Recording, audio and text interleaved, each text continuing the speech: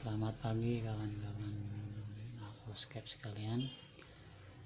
Hmm, Untuk kali ini saya membahas tema tentang diskus. Eh, Diberi makan kutu air apakah baik atau tidak.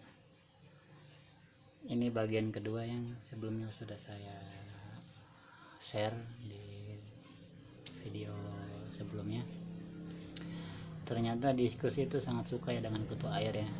Jadi saya tidak di sini saya tidak memberikan makan dengan burger ataupun cabai atau cacing beku. Cacing beku ada tapi kalau saya perhatiin sepertinya kurang lahap ya. Untuk kutu air ini sendiri saya mencarinya dekat rumah. Kebetulan rumah saya dekat persawahan dan di situ banyak sekali kutu air. Nah sekarang kita coba masukkan ya. Ini sudah yang ke beberapa kalinya dan diskusi saya ini sudah satu bulan di tank ini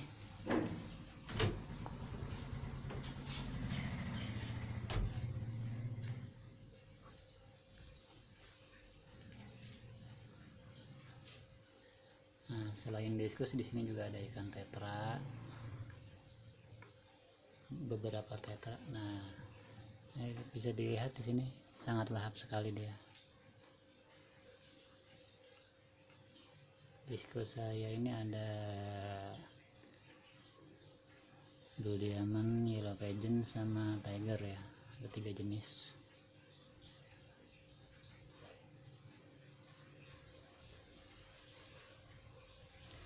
Dan ukurannya di sini ada yang satu in dua in sama 2 cm ukuran diskusnya. Bisa diperhatikan yang tiger juga lahap sekali ya.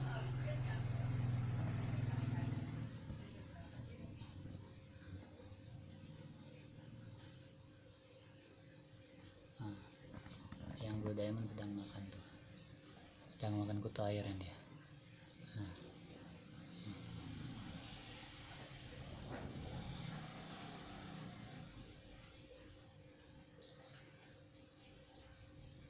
sangat lahap mereka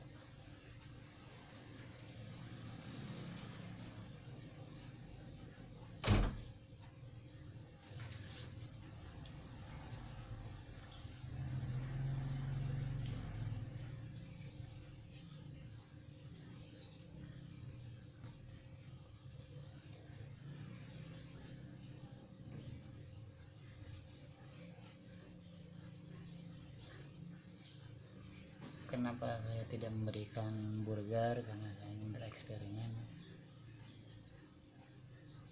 Karena burger kan harus memakai uang ya. Kalau kutir ini kan secara gratis ya. Tersebar di mana saja. Gampang mencarinya. Kalau uh, burger kan pasaran 30.000 per lempengnya kalau putih ini 0 rupiah ya gratis ongkir juga.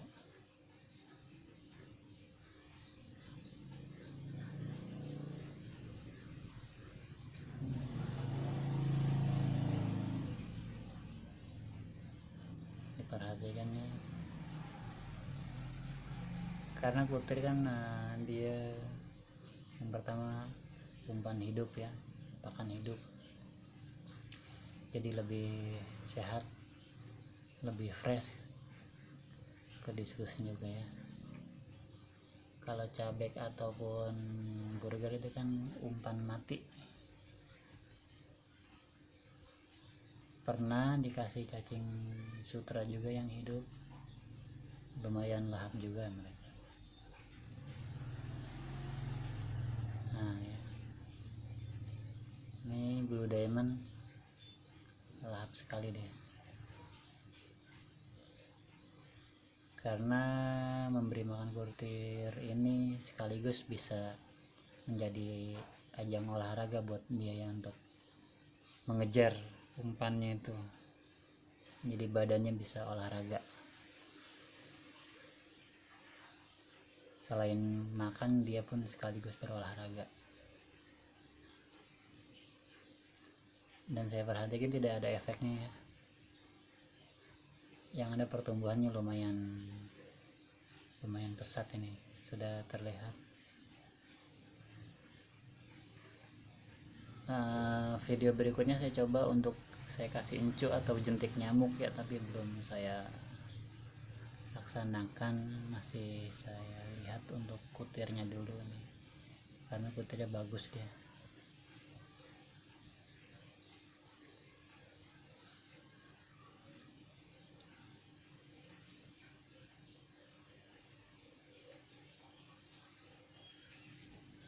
untuk yang tiger sendiri dia sering mainnya di belakangnya. Nah untuk aquascape nya ini saya tema beli diberi tema hardscape ya atau batuan. Kalau saya lihat tema ini cocok dengan diskus ya. Untuk penggemar diskus kalian yang bingung memberi tema aquascape nya apa kalau menurut saya kalau untuk diskus bagusnya tema hardscape ya jangan tema aquascape karena dia senang main di bebatuan untuk tempat-tempat dia bersembunyi dan sekaligus untuk bertelur ya. Jadi kita nggak usah beli corong-corong lagi ya. Karena di situ ada bebatuan dia bisa menempelkan telurnya bebatuan. Nah itu ada yang tiger udah terlihat tuh yang tiger di belakang dia mainnya selalu di belakang ya. Senangnya di belakang dia di bawah bebatuan di belakang bebatuan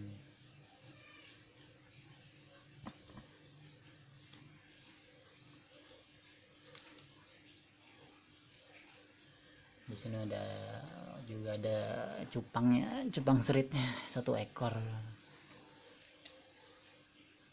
Warna albino.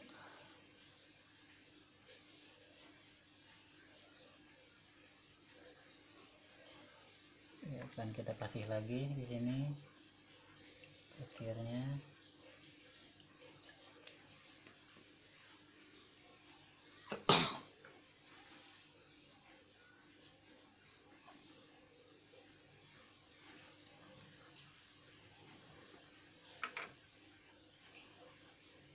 nah itu yang tiger sudah terlihat tuh. Wow lihat.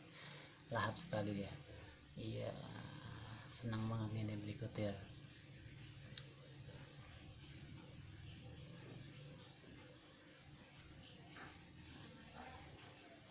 hmm, karena dia umpan hidup ya jadi mereka tuh senang banget.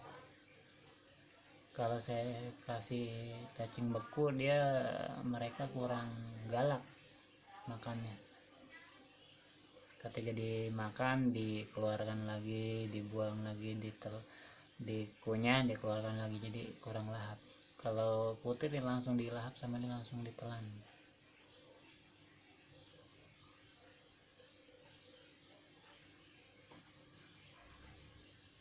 Nah yang tiger lihat. Ini yang tiger ukuran 1-2 inch ya. Dia pun senang banget dikasih kutir. Paham banget. Ini. Jadi untuk diskus mania kalau yang bingung tema akuariumnya untuk diskus apa saya sarankan temanya tema hardscape ya. Di sini saya menggunakan batu pasir batu turli terus kemudian karang merah ya karang.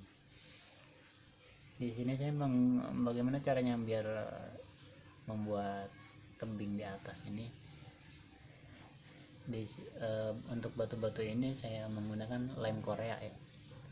Dan serutan kayu ataupun bisa juga dengan busa rokok ya filter rokok filternya disambung di di ketik di dua sambungan itu tengah-tengahnya dikasih filter langsung dikasih lem Korea. Untuk aquascape saya ini sudah berumur satu tahun ya. Dan untuk airnya ini saya menggunakan air galon isi ulang ya. 5000 rupiah per galon. Di sana saya menghabiskan 4 galon. Untuk water tank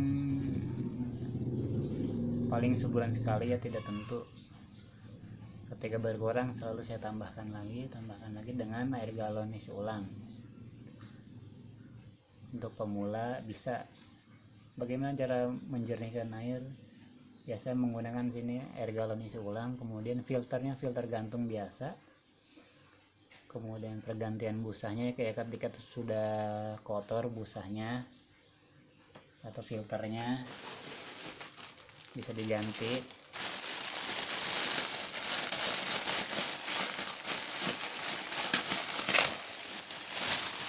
biasanya saya menggunakan filter ini ya ukuran L jadi untuk stok di rumah.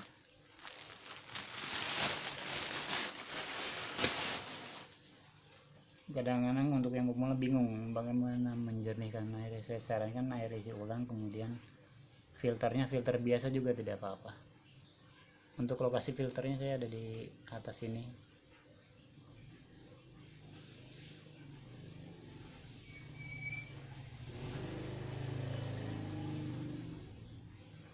untuk pompanya mesinnya mesinnya biasa merek Akira ya yang 1000 eh, 1200 atau 120 gitu.